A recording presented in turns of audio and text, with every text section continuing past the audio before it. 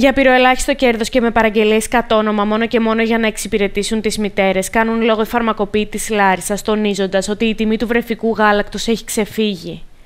Όπως αναφέρει ο κ. Κουτσούκης, η τιμή του γάλακτος δεν συμβαδίζει με το εισόδημα του μέσου Έλληνα, ενώ τονίζει ότι η καλύτερη πρόταση θα ήταν η αφαίρεση του ΦΠΑ. Το βρεφικό γάλα ε, εμείς δεν δίνουμε μεγάλες ποσότητες, γι' αυτό και δεν παρακολουθώ συνέχεια τις τιμές, επειδή πλέον ε, τα γάλατα και τις πρώτες βρεφικές ηλικίες κυκλοφορούν ε, στα σούπερ μάρκετ.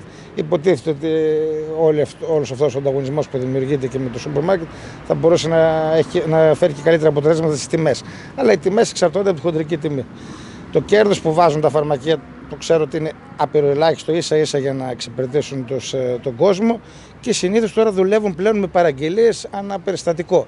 Ε, γιατί δεν συμφέρει να τα δίνουμε αυτά τα γάλα. Τα δίνουμε για εξυπηρέτηση. Όσο, όσο, όσο πρέπει να εξυπηρετήσουμε τον κόσμο.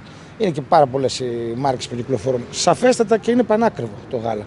Και ειδικά για το εισόδημα του μέσου Έλληνα, δεν ξέρω πώς μπορεί να ανταποκριθεί. Υπάρχουν τώρα τιμές στις πρώτες βρεφικές ηλικίες που φτάνουν και τα 30 ευρώ τα 800 γραμμάρια. Τι να πω τώρα. Και, δεν, και δεν ξέρω αν μπορούμε να κάνουμε κάτι για να αντιμετωπιστεί αυτό. Ξεκινάει σαφώς από την παραγωγή, έτσι. Ο ίδιος αναφέρθηκε και στην τιμή των άλλων σκευασμάτων που γνωρίζει συνεχή αύξηση. Έχουν ανεβεί και άλλα σκευάσματα που είναι μη συνταγογραφούμενα. Πολλά σκευάσματα που είναι μη συνταγογραφούμενα και είναι εκτός λίστας, δηλαδή δεν, δεν μπορείς να, τα, να αποζημιωθούν από τα ταμεία, να τα πάρεις αποζημιωνόμενα.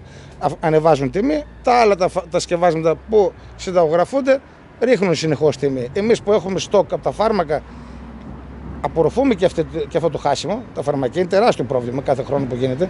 Κάθε χρόνο υπάρχει δελτίο τιμών με πτώση τιμών στα συνταγογραφόμενα φάρμακα. Κάθε χρόνο υπάρχει δελτίο τιμών με αύξηση τιμών στα μη συνταγογραφόμενα φάρμακα. Άρα τι συμβαίνει; Μετακυλούμε το κόστος στον ασθενή. Λίγο-λίγο. Αυτό γίνεται όλα αυτά τα χρόνια από τότε που έγιναν κάποιες απελευθερώσεις, κάποια φάρμακα που βγήκαν εκτός και κάποια που πραγματικά έχουν εξαφανιστεί λόγω χαμηλής τιμής και έχουν αντικατασταθεί από κάποια άλλα. Είναι ζητήματα στην τιμολόγηση των φαρμάκων πολύ σοβαρά που πρέπει να τα δούμε. Εμείς πάντα τα επισημαίνουμε.